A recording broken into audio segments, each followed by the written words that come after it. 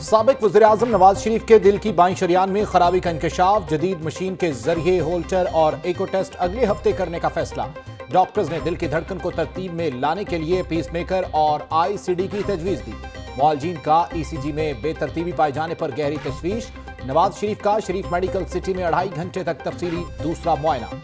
ذاتی معالج ڈاکٹر عدنان سمیت دیگر ڈاکٹرز کی علاج سے متعلق مشاورت۔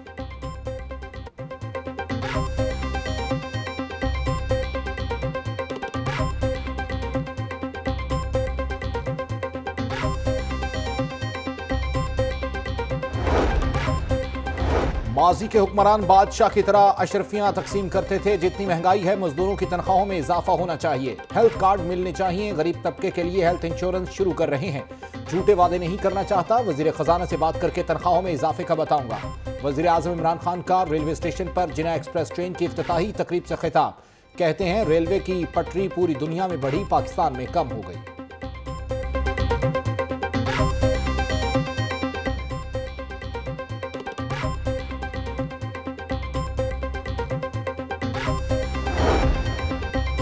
پچھلی حکومت نے اربوں روپے ضائع کیے، ناروال اوکاڑا کے اسٹیشنز پر اسی اسی کروڑ لگا دیے۔ ایک روپیہ لاہور میں راول پنڈی یا کراچی اسٹیشن پر نہیں لگایا۔ وزیر ریلوے شیخ رشید احمد کا جنا ایکسپریس کی افتتاحی تقریب سے خطاب۔ کہا، وزیراعظم کی قیادت میں ملک کے کونے کونے میں ٹرین پہنچائیں گے۔ ٹرین میں T V, WiFi, sound system, کھانے پینے اور سونے کا اہتمام۔ بچوں کا چار ہزار، بڑوں کا پینسٹھ سو کرایہ مقرر۔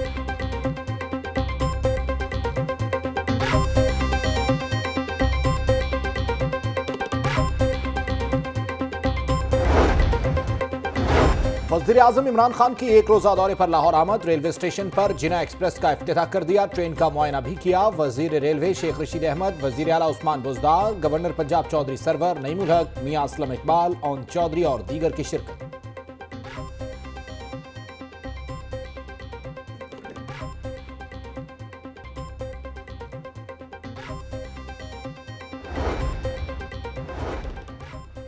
وزیر اعظم کی آمد سے قبل ریلوے اسٹیشن کے اطراف میں سیکیورٹی کے سخت انضامات دکانیں، ہوٹل بند، پلیٹ فارم نمبر دو اور چار کو بند کر دیا گیا، ریلوے عملہ اور قلی بھی متاثر۔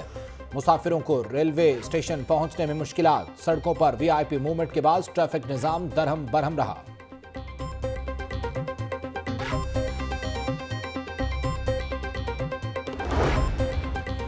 مسلم لیگ نون کی ترجمان مریم اورنگزیب کا وزیر اعظم عمران خان کی تقریر پر رد عمل۔ کہا، عمران صاحب، آپ کنٹینر پر نہیں، بلکہ وزیر اعظم ہیں۔ ٹیکس ریونیوز جمع نہ ہونے پر ناکامی کا بدلہ غریب عوام سے لینا ظلم ہے۔ اپوزیشن پر تنقید اس لیے کر رہے ہیں کہ پیٹرول بارہ روپے مزید مہنگا کرنا ہے۔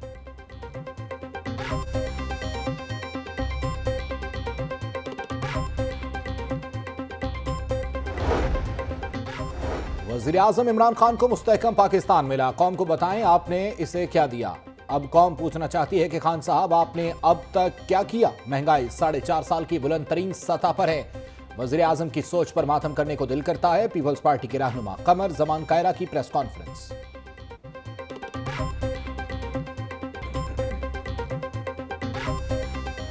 In this country, every social issue, every economic issue, every political issue ultimately ends up in a court of law.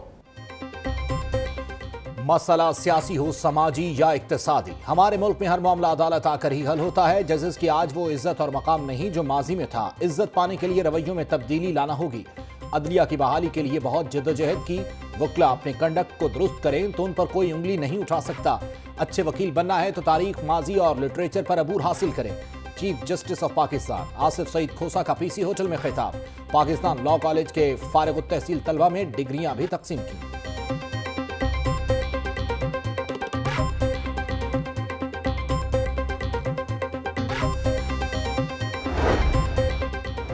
Speaker Punjab assembly Pervez الہی سے وزیر اعظم کے معاون خصوصی نعیم الحق کی ملاقات، سیاسی صورتحال اور پنجاب حکومت کے امور پر تبادلہ خیال۔ مشاورت سے چلنے پر اتفاق، پنجاب میں عوام کی فلاح بہبود کو مد نظر رکھتے ہوئے اقدامات کرنے پر غور۔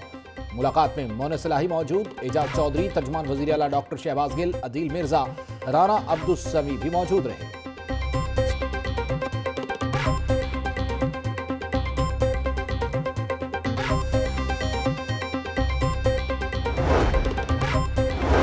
قوم کے معمار، قوم حکومتی ہٹ دھرمی کے آگے ڈٹ گئے۔ اساتذہ کا چیئرنگ کراس پر پانچ روز بھی دھرنا جاری۔ پنجاب بھر کے کالجز میں تعلیمی نظام شدید متاثر۔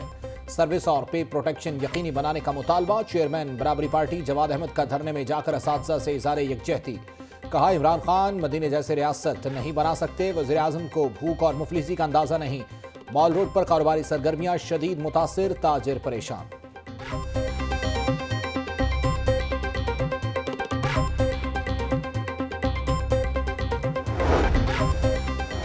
University of engineering and technology کی سینڈیکیٹ کا اہم اجلاس۔ آٹھ گھنٹے تک جاری رہنے والا اجلاس تنازعات کا شکار، اساتذہ کو مستقل نہ کرنے پر یونیورسٹی اساتذہ کا احتجاج۔ پیر سے کلاسز کا بائک آؤٹ کیا جائے گا teaching staff association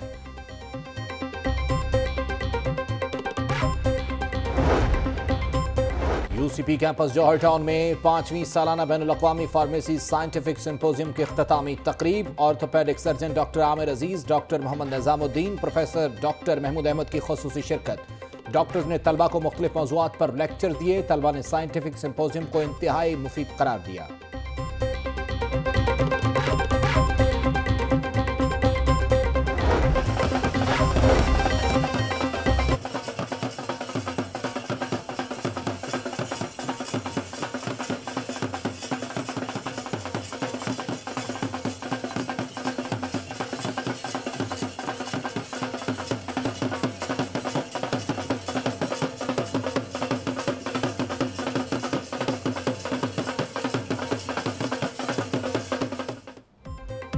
ربا میرے حال دا محرم توں اندر توں باہر توں لولوں دے وچ توں حضرت مادھو لال حسین کی اور اس کی تقریبات کا آغاز صوبہ وزیر اوقاف سعید الحسن کے مزار پر حاضری। عقیدت مندوں کا والہانہ محبت کا اظہار ڈھول کی تھاپ پر دھمال۔